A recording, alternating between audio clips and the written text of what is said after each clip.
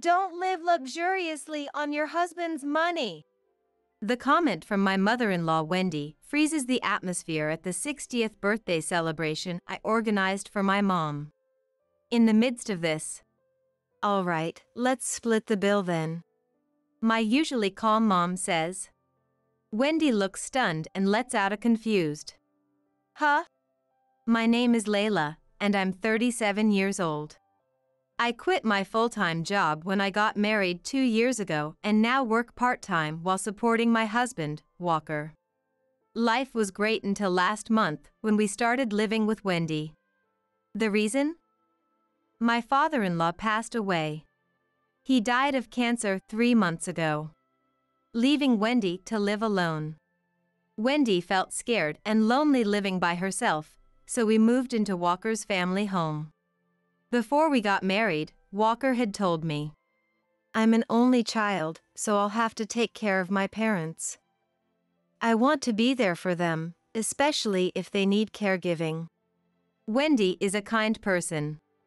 So I agreed to live with her in the future, even offering to help with caregiving. She never interfered in our marriage. And she was a great homemaker when my father in law was alive. I respected her and thought I was lucky to have such a good mother in law. So, we started living together earlier than planned, and I was looking forward to a happy life as a family of three. But I never expected Wendy to turn out the way she did.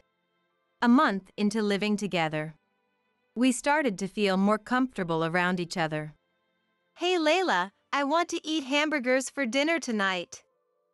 Can you make some? I often get dinner requests like this.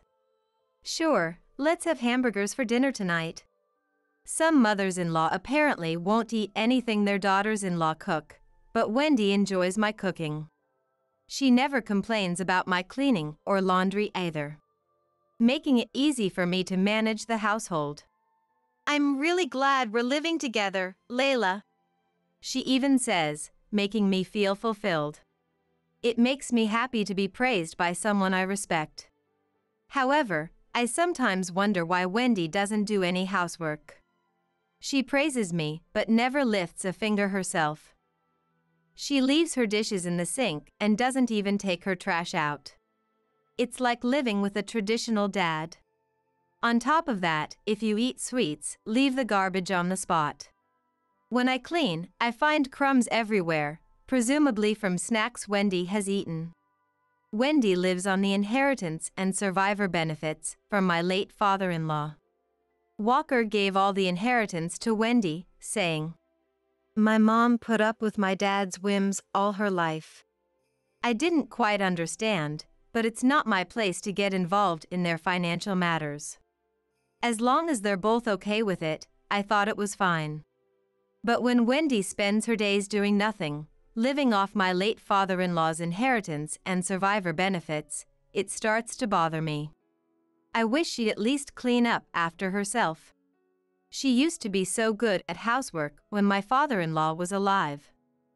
Why has she become so careless now? Curious, I gently ask Wendy about it. My husband was a very strict man, and I couldn't defy him. Now that he's gone, I'm finally free. It turns out my father in law was a henpecked husband, and Wendy felt she couldn't go against him. I remember how he used to sit still during meals, ordering Wendy around. Was that what it was? Now I understand what Walker meant. And I can't help but feel sorry for Wendy. I'll take care of the housework from now on. I decide, considering Wendy's feelings. But then, Wendy starts making more and more demands. Can you take a day off from your part time job today? I want you to drive me to my friend's place. I can't take a day off. I firmly decline. And then she says, Is your pocket money that important to you? Excuse me? I can't believe what I'm hearing. Spending money.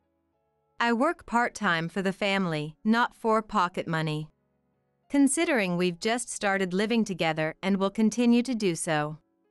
I don't voice my complaints. Hey, we're out of milk. can you go buy some now? I can't start my day without milk. Can't you see I'm about to leave for work? If you hurry, you won't be late. Hey Layla, my trash can is full. Take it out, and while you're at it, vacuum and mop my room. It's getting dirty. Wendy starts taking advantage of my willingness to do housework without complaining.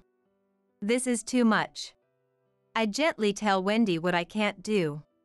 I'm telling you to do it, so do it. Why can't you? She gets furious. I'm at my wit's end. And decide to consult Walker. Seriously? I'm sorry. Walker apologizes and immediately scolds Wendy. Mom, you should take care of yourself. Unlike Layla, who works part time, you're home all day. But Wendy just brushes it off. Yeah, yeah, I get it. She clearly doesn't. I start to feel uneasy about this living arrangement. Walker seems to sense my feelings. I'll take care of Mom as much as I can. If there's anything I can do, just let me know.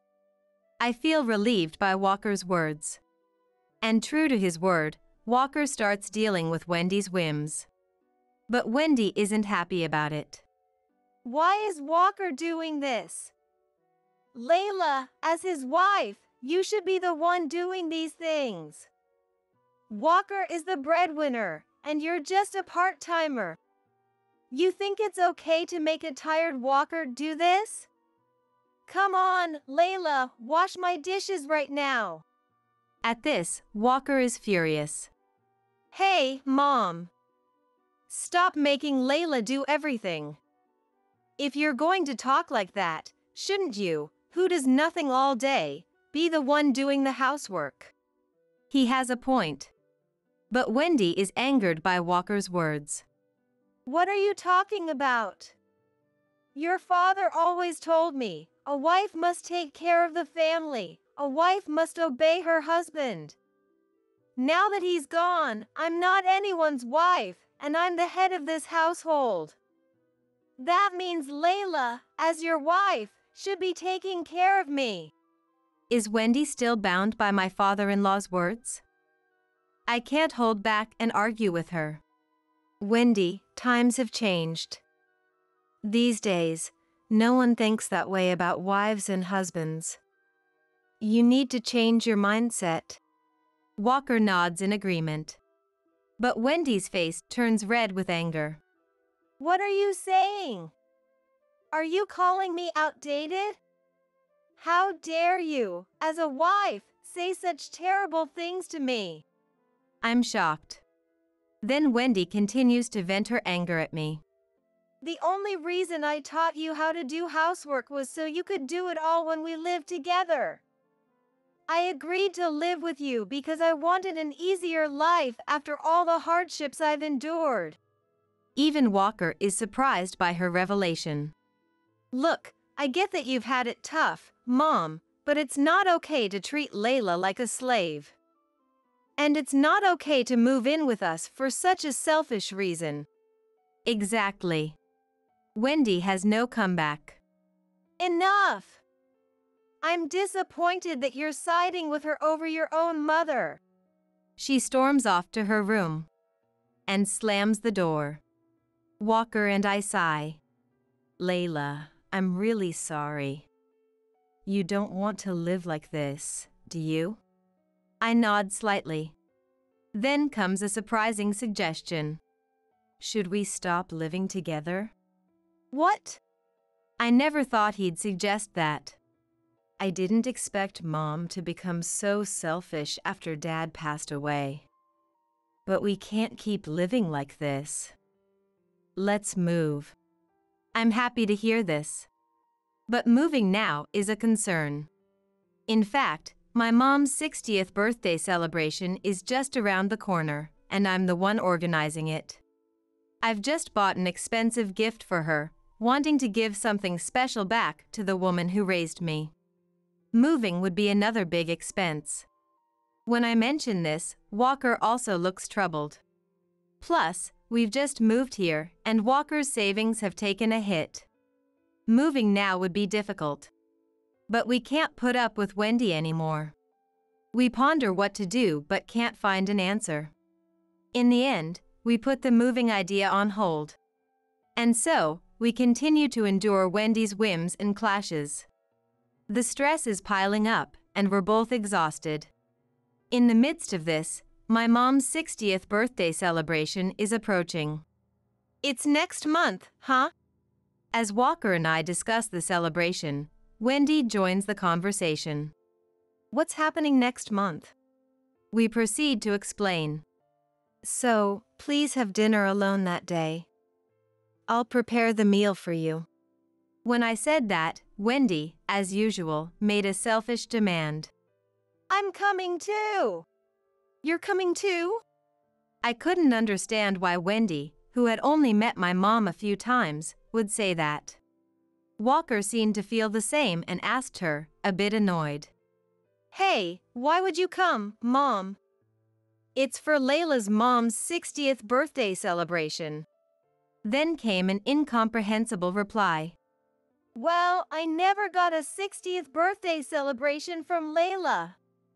So, you should celebrate me too. What? Neither of us could make sense of it. Wendy is 63, and when we first met, she was already past 60. Yet, she's demanding a celebration? Walker couldn't understand her logic either and kept arguing. This is ridiculous. But Wendy wouldn't budge, insisting. I'm going. Celebrate me too. So, they kept arguing. This was getting nowhere. Fine. If my mom agrees, then Wendy can come too. I called my mom. Would it be okay if Walker's mom also joins the 60th birthday celebration? My mom graciously said, Sure. Yay! Then I'm coming to the 60th birthday celebration. Ugh. This is turning into a hassle. Walker and I exchanged glances, both probably thinking the same thing. But we had no idea what was coming. Little did we know that Wendy's selfishness would escalate even more on this particular day. On the day of the 60th birthday celebration, we headed to my parents' house by train. Why are we taking the train, Layla? What happened to the car? I hate trains. My mom loves her alcohol. And the plan was for everyone to drink. That's why we couldn't drive. When I explained, Wendy looked displeased. Well, you could just abstain from drinking, Layla. I'll drink your share too. So get off the train now and go rent a car. I can't do that. My mom is looking forward to drinking with me. I said, refusing her demand. She kept grumbling. It's not like the train ride was that long. It's only about 20 minutes from our house to my parents. Despite feeling embarrassed by her loud complaints on the train, Walker and I finally arrived at my parents' home. We were greeted by my mom, who then said hello to Wendy. Layla is always in your care. I hope she's not causing any trouble? Wendy laughed and responded in a way that was completely out of line. Ha ha ha. She's always a handful. She does the housework I've taught her, but she's so busy trying to make extra money that she sometimes doesn't listen. But hey, she's the wife Walker brought home. Walker immediately scolded Wendy. Mom! What are you saying? My mom and I were stunned. Ignoring that she wasn't even a family member, Wendy led the way into the house. You're having a hard time living with her, aren't you? My mom whispered this to me so Wendy couldn't hear. I could only respond with a wry smile. When we got to the living room, the catering we had ordered was already there. I had told my mom, You don't have to do any of the serving or cleaning. So Walker and I started setting the table. Why are you making Walker do this? You should do it yourself. I couldn't believe she would say something like that here, too. Walker was visibly frustrated. While my mom quietly observed. Wow, this looks delicious. I didn't expect to eat such a feast. I'm glad I came all this way for this 60th birthday celebration. She's a guest in someone else's home, yet she acts like this. Does she have no common sense? The celebration began with a toast.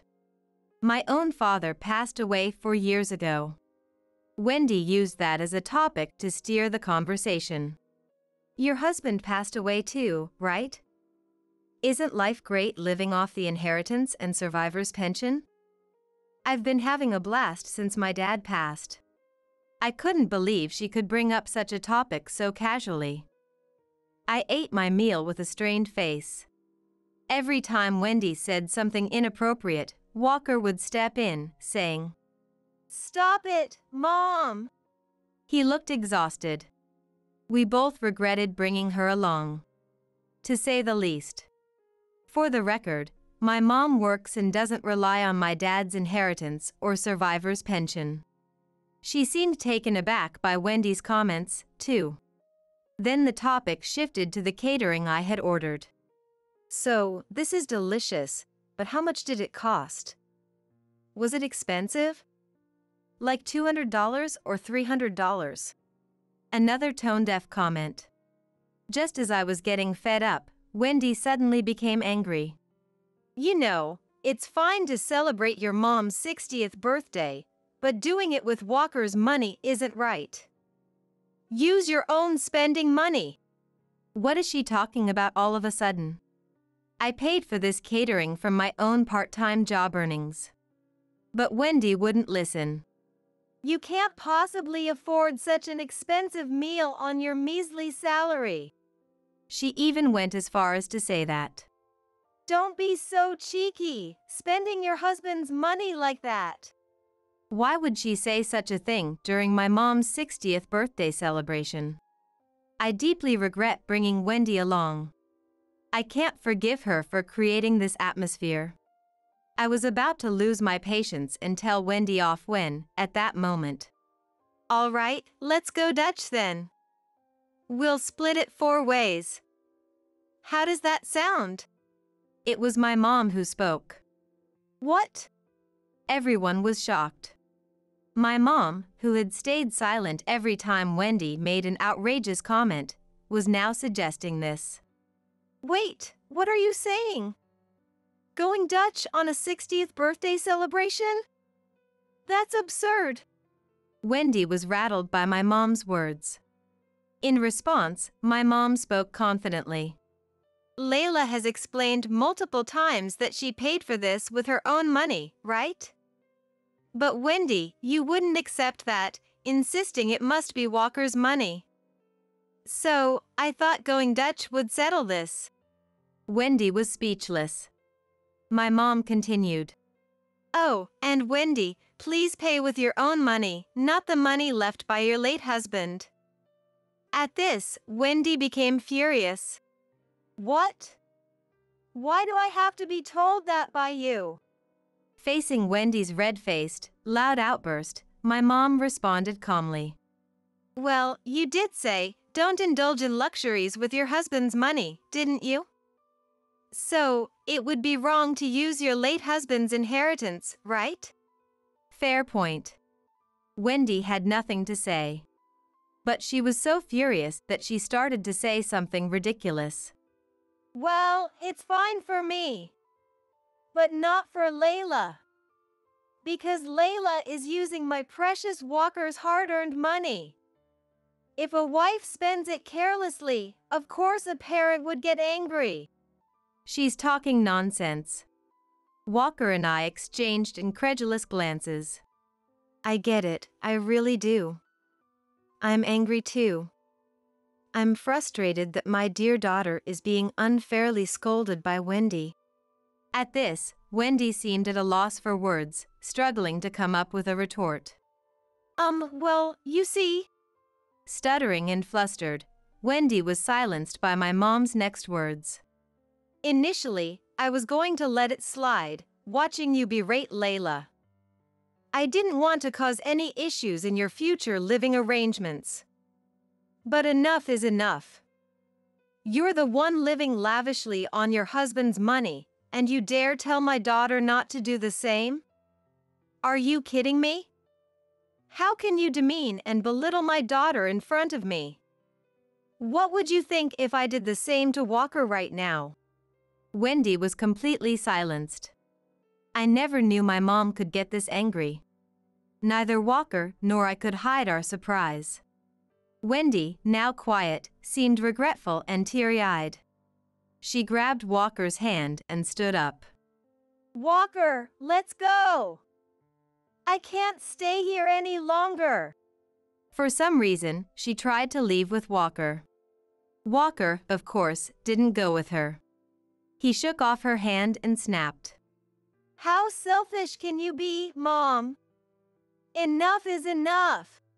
Wendy started to cry. What now? Even you, Walker? Everyone's treating me like the villain. I was thinking of you when. Before she could finish, Walker shouted. Cut the crap. What's for my sake? Apologize to Layla right now for ruining this 60th birthday celebration. Wendy was visibly shaken by Walker's fury. He seemed so forceful that it looked like he might hit her. Perhaps because of that, Wendy complied meekly. Um, I. I'm really sorry. I truly apologize. Wendy offered a heartfelt apology to me and my mom. After all the times she had bossed me around, she was finally apologizing sincerely, so I thought about forgiving her. Yeah, right. I'm sorry, but I can't put up with Wendy's selfishness anymore. Ruining my mom's 60th birthday celebration made me realize that I can't live with this person any longer. Please, let's end this living arrangement. With the atmosphere already tense from my mom and Walker confronting Wendy, I unleashed my pent up anger. That said, I never thought I'd be able to say all this to Wendy. Wendy was shocked when I suggested we should stop living together. She clung to me with a loud voice. Please don't say we should part ways. I'm truly sorry. I messed up today, but from now on, I'll take care of myself. It's too late for that now. So, as you've said, take care of yourself. In your own home. Also, remember you mentioned not living large on my husband's money? Starting today, you'll need to find a part time job and earn your own keep. My point was own up to what you say. Wendy was taken aback. No, no, that was a mistake.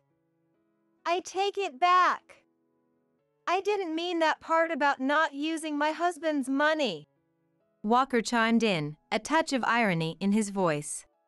So, moving forward, Layla can do whatever she wants with my money, right? Exactly. Ah, uh, well, um. Wendy was at a loss for words. I was on the verge of bursting into laughter. Everyone blamed her, and she was clearly out of options.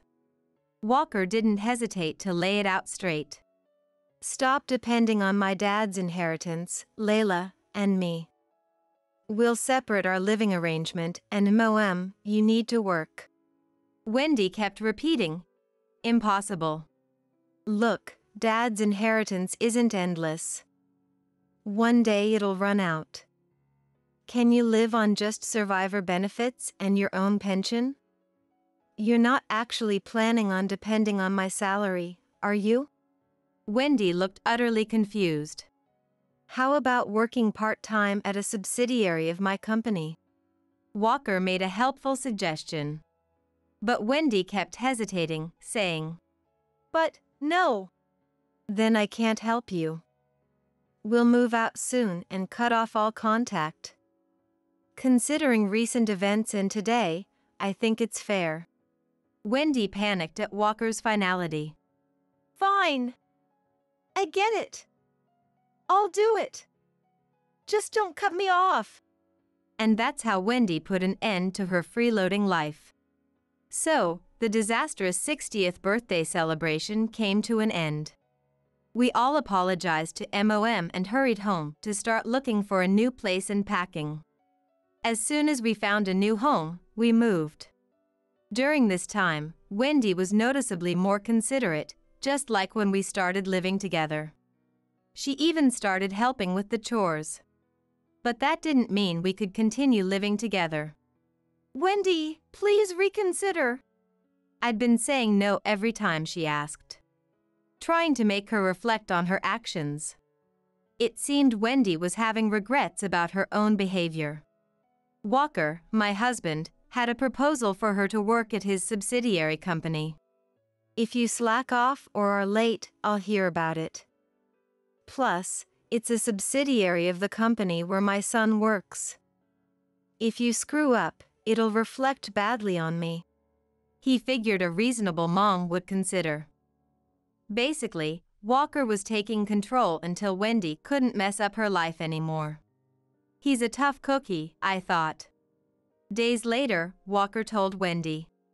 I spoke to the factory manager at the subsidiary. You have a job interview. With no escape, Wendy reluctantly went to the interview.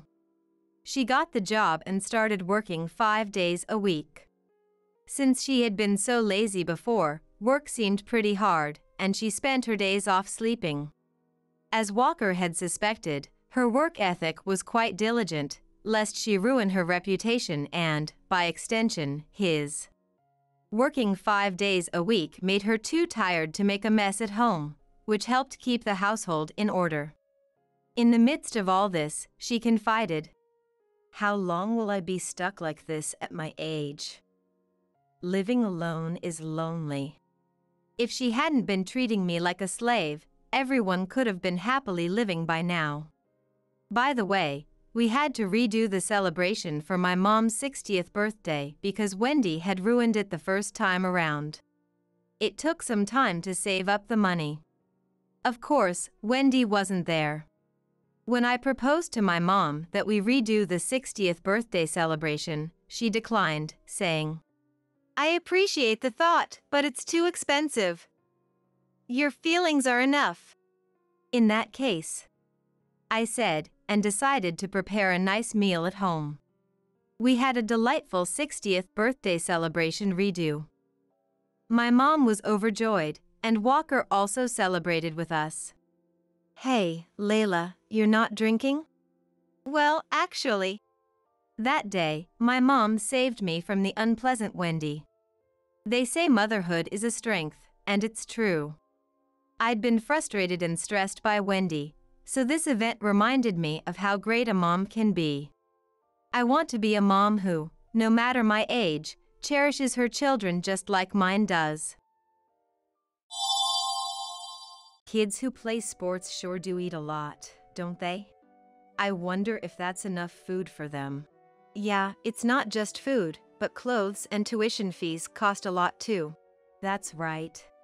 Groceries and tuition fees really add up and with exams and everything else coming up. That's why, Nancy. I truly appreciate you sending us meat. From Susan's behavior, I began to suspect her true intentions. Surely, Susan wanted cash, not meat or vegetables. I get that. But it's a fact that growing kids costs a lot in food expenses, right? I hinted at my reluctance to provide cash assistance indirectly. Once you start giving cash, it's clear the demands will only continue. Nancy. While food is important, if we had cash, I think we could buy the kids things that would make them even happier. Susan continues to hint at a strong preference for cash. Understood. Let's do this then. We'll scale back on the meat and vegetables and find another way to support you. Trust Nancy to understand. Thank you. I look forward to our continued relationship. My name is Nancy, 67 years old. Ever since my husband passed away a few years ago, I've been enjoying a carefree life living alone. One thing I've consistently done every month is to send 20 pounds of local meat and seasonally harvested vegetables from my garden to Robert and his wife, who live in Boston. At the beginning of each month, I always call a courier to request delivery of the parcels. When the delivery truck stops in front of my house, and the familiar driver greets me cheerfully, I open the door to welcome him in. Thanks for your hard work in this heat. Please have some coffee before you go. As I offer a chilled coffee from the fridge, the driver smiles genuinely and says, Thank you as always. Your grandchildren must be delighted. The eldest is playing basketball in elementary school. The middle one is good at studying, and the youngest likes baseball. I can't help but smile as I remember my growing grandchildren's happy faces. Though I haven't seen them in a while, just imagining them enjoying the meat and vegetables I send fills me with joy and makes me feel a bit younger. I feel like Robert could at least show me their faces once in a while, but with his managerial position at a large company, it's probably hard for him to find the time to come visit. The package should be delivered by noon tomorrow at the latest. The kids have probably grown so much since I last saw them. Oh, sorry. Please take care of the package. Without showing any concern for my melting smile, the driver left with a refreshing smile. The next evening, just as I returned from shopping, Susan called. Nancy? The package arrived a bit ago. Thank you as always. That's okay. I enjoy doing it. How are the kids? Is everyone healthy? I heard there's been a lot of sickness going around, so make sure you all take care. Since I don't see them often, I end up bombarding her with questions. I always talk too much and then remember to consider the listener's feelings. Oh, sorry. I was about to go on too long again. No, it's okay. On the other end of the phone, Susan answered in a flat voice. Susan hasn't been one to engage much in conversation since she first came to introduce herself before marrying Robert. It's not that she's gloomy, if anything, she prefers rather flashy clothes. But something's been bothering me. Every month after the package arrives, Susan always calls to thank me, but her voice seems to grow more subdued with each call. Maybe I'm overthinking it, but although she says thank you, it doesn't seem heartfelt, like there's no energy in her voice. Susan. We haven't seen each other in a while, but are you okay? You sound down, and I'm concerned. When I asked out of concern, Susan's voice tensed slightly as she said, That's not the case. We're doing just fine. Hearing that, I felt somewhat relieved. But it seemed like her will to continue the conversation was weak, and the next words didn't come easily. How are the kids doing? The oldest is playing basketball, right? Yes, he is. What about it? Susan's response, with a slightly cold tone, made me feel a bit sad. Still, it's probably not my place to worry. I don't send the meat and vegetables each month to be thanked. If it's just for my satisfaction, so be it. I'm just happy imagining the grandchildren enjoying them. Still, it would be nice if she could put a bit more joy into her voice. Doing sports means the kids eat a lot every day, doesn't it? I wonder if what they get is enough. Yeah, it's not just about food, but clothes and tuition fees also require a lot of money. I tried to lighten the mood with a joke, but Susan didn't laugh and responded seriously. I understand that all too well, having raised Robert. Groceries and tuition really do add up. And with exams and all coming up. That's why, Nancy. I truly appreciate the meat you send us, but. Susan seemed to want to expand on the conversation but hesitated to continue, as if finding it difficult to say more. From the way Susan spoke, I began to sense her true intentions. She probably wants cash instead of meat or vegetables. I'm well aware of that. But it's a fact that those growing kids rack up a significant food bill, right? I want to help with that. I indirectly expressed my reluctance to provide cash assistance. Once you start giving cash, it's clear that the demands will only continue. And unlike meat or vegetables, cash can be turned into anything. I want to see the joy on my grandchildren's faces in a tangible form. For that, I believe food is the most effective, not cash. Nancy. Food is important, of course, but with cash, I think we could buy the kids things that would make them much happier. Susan still hints at a strong preference for cash. Usually, Susan doesn't try to speak up much, but this time, she seemed unusually assertive. Understood. Let's do this then. We'll scale back on the meat and vegetables and find another way to support you.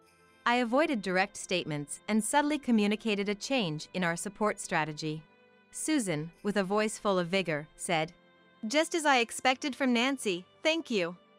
I look forward to our continued relationship. And hung up. Upon reflection, Susan was right.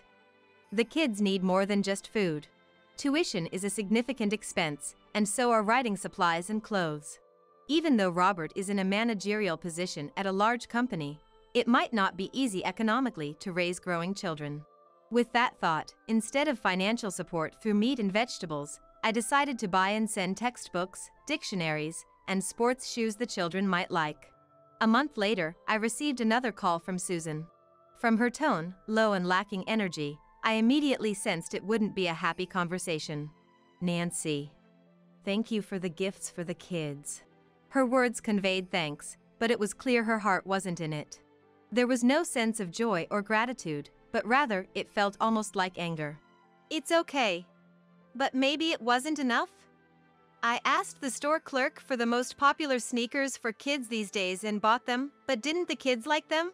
The first thing that came to my mind was the disappointed faces of my grandchildren. It's not like that at all. Why can't you understand? Susan's voice was laden with emotion, and she made no attempt to hide her anger. But I couldn't understand why Susan was so angry with me. Susan, what's wrong with you? Is there something you're unhappy about? Susan took a deep breath over the phone and said, Listen, Nancy. Don't make me say it over and over. I don't want food or goods, I strictly want cash. When you send those things, their use is already predetermined. Although I had vaguely suspected it, I hadn't expected her to state it so bluntly. I started to worry that there might be some financial troubles in Robert's household.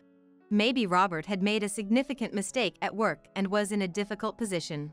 Or perhaps he was under so much work-related stress that he had accumulated a large amount of debt and was now trapped in a situation where he couldn't do anything about it. Otherwise, I couldn't think of a reason why Susan would be demanding cash so insistently.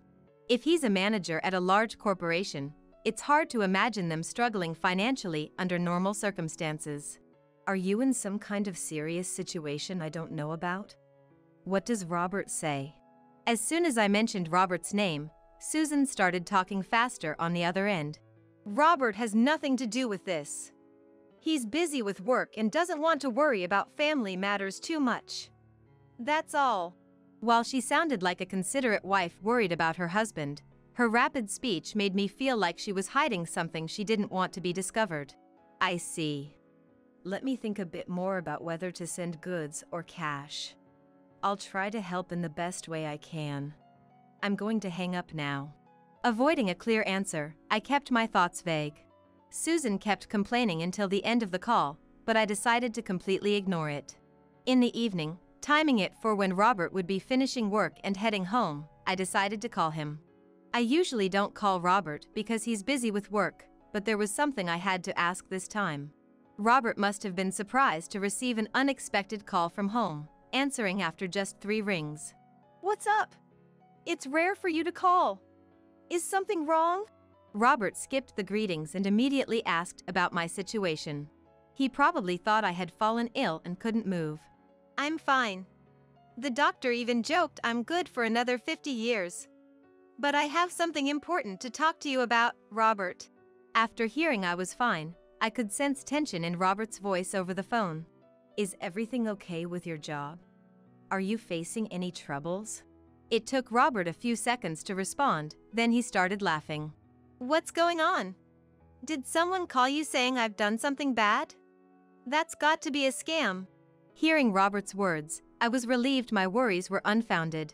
At the same time, I felt my suspicions about Susan growing stronger. Susan called, and she seemed to be struggling with money. But if your earnings are fine, there shouldn't be anything to worry about, right? Is that true? I had no idea. Susan hasn't talked to me about any of this. Robert was also confused, hearing about this from me for the first time. I went on to tell him about how Susan had rejected the meat and vegetables I used to send, and even the stationery, clothes, and sneakers I bought for the grandchildren were not well received. Robert, who had been silent at first, became very serious. So that's why we haven't been getting any meat from you. The kids have been complaining about missing your delicious meat. So it was like that. The eldest is playing basketball, right? Are they eating well? The eldest and even the youngest, who recently started baseball. But they complain about the cheap meat Susan buys not being tasty since your meat stopped coming. Knowing the truth from Robert made me decide to verify Susan's intentions. Are you going to be home this Saturday, Robert? Will everyone be there? Evening should be fine. The kids will be home by then. Wait, Mom, you're not planning to come here, are you? That's the plan. Is it inconvenient for you, Robert? No, not at all. Yeah, maybe when the family's all together, we need to have a talk with Susan. Robert readily agreed with my suggestion. On the appointed Saturday, I took the unfamiliar step of flying up to the city. Robert had initially offered to pick me up from the airport, but I declined, thinking it would alert Susan, and took a taxi to their house instead. After pressing the doorbell, Hello? A woman's cheerful response came, and the front door opened. Good evening, Susan. It's been a while. As soon as she saw my face, Susan's expression froze. She seemed to be frantically pondering in her mind whether to accept the sudden appearance of me. May I come in, even though it's quite sudden? That would be. I need to consult with Robert first. It would be troublesome.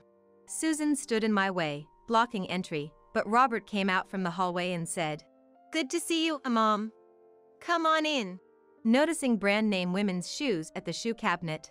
How much did these shoes cost? I murmured quietly under my breath. As the barrier Susan set up easily crumbled, she hurried into the living room. I changed into the slippers Robert offered and quickly followed Susan. Entering the living room, I couldn't believe my eyes.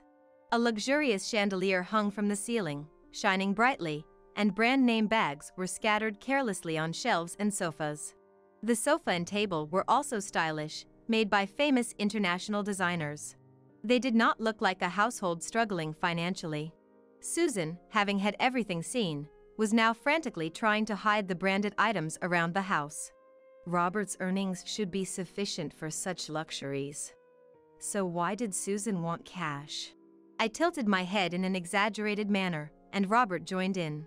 Seems like Susan's unhappy with what I make. He glared at Susan. Susan, clearly shaken and finding no way out, finally snapped. That's right, it's not enough. Is that so bad? It costs that much to be a mother. She raised her voice defiantly. You wouldn't be short if you didn't insist on buying brand name stuff. We'd have more than enough if we lived normally. Robert retorted angrily. In response, Susan, without any sign of remorse, glared back at Robert. Robert might not understand this, but in the world of mom friends, keeping up appearances is essential. If you don't show you're at least a bit well off, you'll be ridiculed by everyone. To avoid that, you can't skimp on spending money on brand names. If something is popular, you have to buy it right away, and for dinner parties, you have to choose slightly more upscale restaurants or you'll be laughed at behind your back by your mom friends. Even now, it's nowhere near enough. I should be going to beauty salons to take care of my skin, and clothes from last year are already out of fashion. I need new ones soon. But then there's Robert talking about saving for the future and for the kids, making it impossible for me to have any freedom with the money. So you plan to deceive mom to get money? Deceiving? That makes it sound like I committed fraud. No, I just wanted Nancy's help. What's wrong with that? Susan had completely become defiant. It's clear now that you only thinks about yourself. What a lonely person. I spat out, and Susan glared at me with a look full of anger. Huh? I'm explaining how tough the world is, and you still don't get it? Are you keeping up with the times? Or is your mind starting to go? Are you okay, Nancy? Susan freely insulted me, then sighed deeply. If anything, I'm the victim here. Selling all that heavy meat you kept sending, considering the shipping costs and conversion, it's been incredibly difficult. And with such small earnings already. Susan was reselling the meat mom sent? What kind of person does that? Robert held his head in dismay while Susan awkwardly admitted. I only sold a little. Most of it went to feeding the kids. And no one wants to buy stationery or textbooks. It's tough. Well, the sneakers were popular. I could have sold them, but the kids wouldn't let go. Of course. You were even willing to sell the things our children cherish. Then, the three grandchildren who had been playing in another room came out, having heard their parents arguing. That's right. Mom was terrible. She tried to sell the shoes Grandma bought us while we were at school. Yeah. It's only because I took them to school to show my friends that they weren't sold. The grandchildren clung to me, their innocent eyes shining as they made their plea. Robert and I were completely dismayed by Susan's actions. All this time, Mom has been helping with the kids' tuition. I said my salary was enough to get by, but she insisted on saving it for the kids' future. Susan has taken Mom's kindness for granted. I won't forgive you if you don't apologize to Mom. This was the first time I witnessed Robert expressing such raw anger. The fact he was doing it not for himself, but for me, warmed my heart. Ugh, I've had enough. Why should I have to apologize? Not being ridiculed by mom friends is for the kids' benefit too. Why can't anyone understand that? Screaming, Susan started throwing any brand name bags scattered around at me and Robert. Robert protected me and the children, leading us out of the living room. It's come to this. There's only one set of people we can rely on now. Let's call them. Robert took out his mobile phone and made a call. It was clear from the conversation that he was calling Susan's parents. Yes, it would be a great help if you could come right now. We'll be waiting. I hadn't seen Susan's parents since the birth of their third grandchild and never imagined a reunion under these circumstances. In less than 30 minutes, Susan's parents arrived, rushing over in a taxi. As Robert opened the door to greet them, they headed straight for the living room with heavy steps. Susan, with her face flushed red, was throwing anything she could grab and resting when tired before starting again. She seemed to have lost control, acting in despair. What on earth is Susan doing as an adult? Susan stopped her tantrum only when she heard her dad, Brian, yelling. After Robert and I explained the situation to Susan's parents, they seemed shocked at first but understood everything after seeing the state Susan was in and the brand name bags. Robert, Nancy, I'm so sorry for all the trouble our selfish Susan has caused. Susan's mom, Emily, deeply apologized, while Susan, tears in her eyes, bit her lip in frustration, feeling misunderstood by everyone. Why is everyone trying to stop me? I just wanted to buy what I wanted, just wanted to show off to my mom friends. Earn your own money before you say such things. I won't allow you to trouble Robert and Nancy any further. Brian scolded Susan, and Emily followed. The responsibility for Susan's selfishness lies with us, her parents. We'll correct her vanity and wasteful habits. And she made a firm promise. Brian grabbed Susan by the scruff of her neck. We're taking you home to correct your twisted values. If that doesn't work, you can't complain if you end up divorced. Brian said this looking at Robert, who simply nodded in agreement. It seemed Robert's feelings for Susan had completely cooled, to the point where the idea of divorce did not provoke any resistance. Susan kept hurling insults at me and Robert until her parents took her away.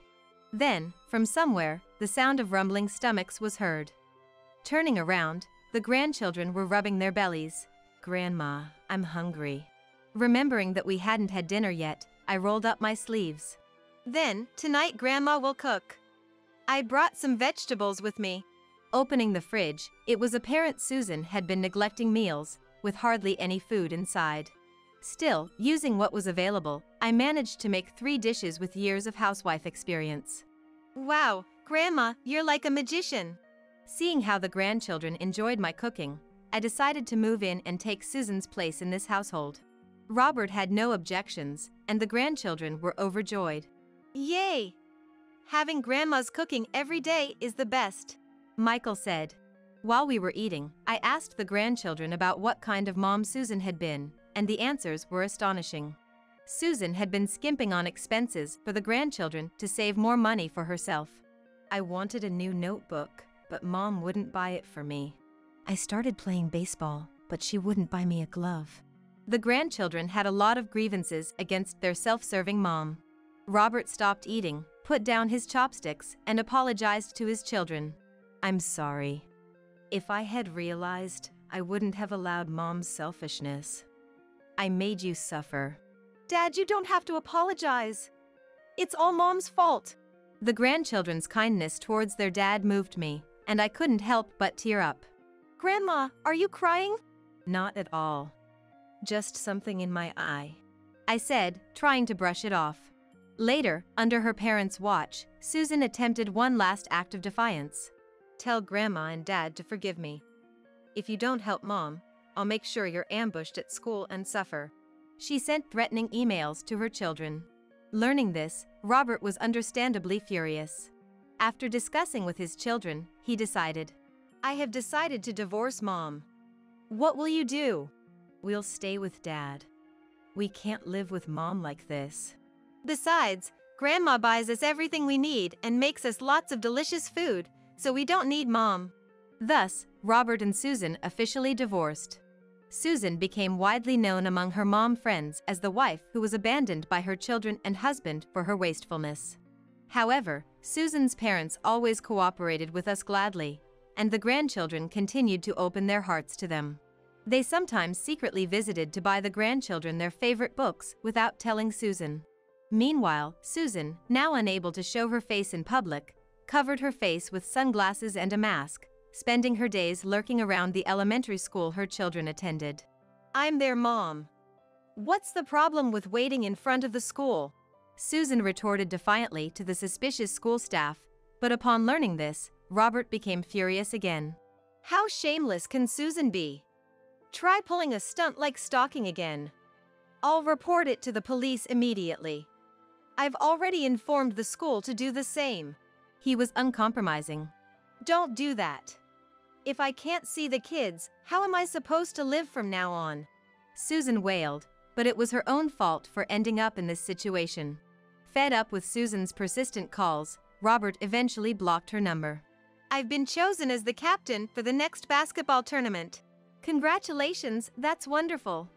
Then, Grandma must make a special lunchbox and go watch your game. I scored 100 on my next test.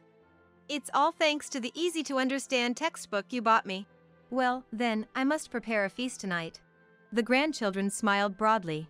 Grandma, we love you. They hugged my waist. I hugged my three precious treasures tightly.